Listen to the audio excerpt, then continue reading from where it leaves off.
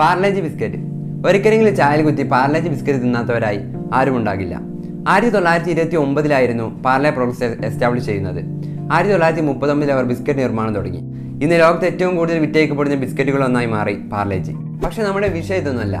ഓർമ്മ വെച്ച കാലം മുതൽ തന്നെ നമ്മളെല്ലാവരും പാർലേജി ബിസ്ക്കറ്റ് പാക്കറ്റിൽ കാണുന്ന ഒരു ചെറിയ പെൺകുട്ടിയുടെ ഫോട്ടോ. ഒരുപാട് വർഷങ്ങളായി ആ ഒരു കമ്പനിയുടെ സിംബോളിക്കായി മാറിയിട്ടുണ്ട് ഈ ഒരു പെൺകുട്ടി. ഒരുപക്ഷെ സോഷ്യൽ മീഡിയകളിൽ ഒരുപാട് തവണ നിങ്ങൾ ഇതിനെക്കുറിച്ച് കണ്ടിട്ടുണ്ടാകും.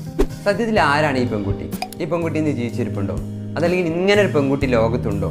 ഇതിനെക്കുറിച്ചുള്ള സത്യാവസ്ഥയാണ് നമ്മുടെ ഇന്നത്തെ video so friends get ready to watch with most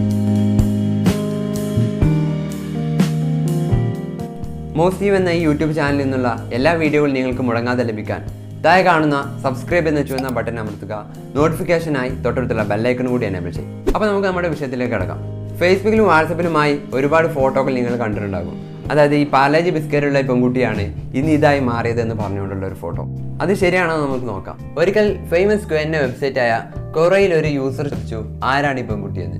അതിന് ഒരുപാട് ആൻസേഴ്സ് അതിൽ വന്നിരുന്നു. ചിലർ പറഞ്ഞു ഇത് സുധാമൂർത്തി എന്ന് പറയുന്ന വനിതയാണെന്ന്. മറ്റു ചിലർ പറയുന്നു ഇത് ഗഞ്ചൻ ഗന്ധാനി എന്ന് പറയുന്ന മറ്റൊരു വനിതയാണെന്ന്. പക്ഷേ ഏറ്റവും പോപ്പുലറായി വന്ന ഉത്തരം എന്താണെന്ന് വെച്ചാൽ പാർലജി വിസ്കറിൽ കാണുന്ന ഈ ഒരു പെൺകുട്ടി ഇന്ന് നാഗ്പൂരിൽ അറുപത് വയസ്സുള്ള നീരു ദിശാപാണ്ഡി എന്ന് പറയുന്ന ഒരു സ്ത്രീയാണെന്നാണ്. ശേഷം അവിടുത്തെ റീജിയണൽ ന്യൂസ് പേപ്പറിൽ നീരു ദശാപാണിയുടെ ചിത്ര സഹിതം ഒരു കുറിപ്പ് വന്നു. പാലാജി ബിസ്ക്കറ്റിൽ കാണുന്ന പെൺകുട്ടി ഇന്ന് ഇതാണ് എന്ന് പറഞ്ഞുകൊണ്ട്. അതിനുശേഷം നീരു ദേശാപാണ്ഡ്യയുടെ പേര് പോപ്പുലറായി മാറി. ഈ നീരു ദേശാപാണ്ഡ്യയുടെ ചിത്രമായിരിക്കും നിങ്ങളെല്ലാവരും വാട്സപ്പിലും ഫേസ്ബുക്കിലുമായി കണ്ടത്. ഈ നീരു ദിശാപാണ്ഡിക്ക് നാല് വയസ്സുള്ളപ്പോൾ അവരുടെ ഫാദർ എടുത്ത ഈ ഒരു ചിത്രം. പാർലേജി ബിസ്ക്കറ്റ് കമ്പനിക്കാരുടെ ശ്രദ്ധയിൽപ്പെടുകയും അവർ അത് അതിനുശേഷം കവർ പിക്കായി അവരുടെ പ്രോഡക്റ്റിന്മേൽ കവർ പിക്കായി യൂസ് ചെയ്യുകയും ചെയ്തു എന്നാണ് ഇതിൽ പറയുന്നത്. ഈ അടുത്ത കാലത്തായി പാർലെ പ്രൊഡക്ട്സിന്റെ ഗ്രൂപ്പ് മാനേജരായ മയാങ് ഷാ ഇതിന്റെ സത്യകഥ പുറത്തുവിട്ടു. അതായത് ഇങ്ങനൊരു കുട്ടി യഥാർത്ഥത്തിലില്ല. ഇതെല്ലാം ആളുകൾ ഉണ്ടാക്കിയതും ഇന്റർനെറ്റ് ഗോസുകളും മാത്രമാണെന്നാണ് അദ്ദേഹം പറയുന്നത്. സത്യത്തിൽ ഇത് ആയിരത്തി തൊള്ളായിരത്തി അറുപതുകളിൽ എവറസ്റ്റ് ക്രിയേറ്റീവ് എന്ന അഡ്വർടൈസിംഗ് ഏജൻസിയുടെ ഒരു ഇല്ലുസ്ട്രേഷൻ മാത്രമാണ്. അപ്പോൾ ഇതിനെക്കുറിച്ചുള്ള സത്യാവസ്ഥ നിങ്ങൾക്കും ബോധ്യപ്പെട്ടു എന്ന് കരുതുന്നു. ഈ വീഡിയോ നിങ്ങൾക്ക് ഇഷ്ടപ്പെടുമെങ്കിൽ മറക്കാതെ ലൈക്ക് ചെയ്യുക. ഈ വീഡിയോ കുറിച്ചുള്ള നിങ്ങളുടെ വിലയേറിയ അഭിപ്രായങ്ങൾ കമന്റ് ചെയ്യുക.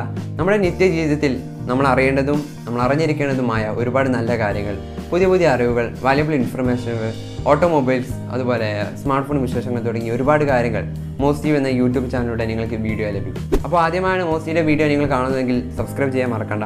തൊട്ടടുത്തുള്ള ബെലൈക്കണോട് എനേബിൾ ചെയ്താൽ ഞാൻ വീഡിയോ അപ്ലോഡ് ചെയ്യുന്ന സമയത്ത് തന്നെ നിങ്ങൾക്ക് നോട്ടിഫിക്കേഷൻ ലഭിക്കും. നിങ്ങൾക്ക് നിങ്ങളുടെ ഫേസ്ബുക്കിൽ നമ്മുടെ വീഡിയോ ആവശ്യമാണെങ്കിൽ മോസ്റ്റീവ് എന്ന് പറയുന്ന ഫേസ്ബുക്ക് പേജ് കൂടി ലൈക്ക് ചെയ്യുക. അതിനുള്ള ലിങ്ക് നമ്മുടെ വീഡിയോ ഡിസ്ക്രിപ്ഷനിൽ കൊടുത്തിട്ടുണ്ട്.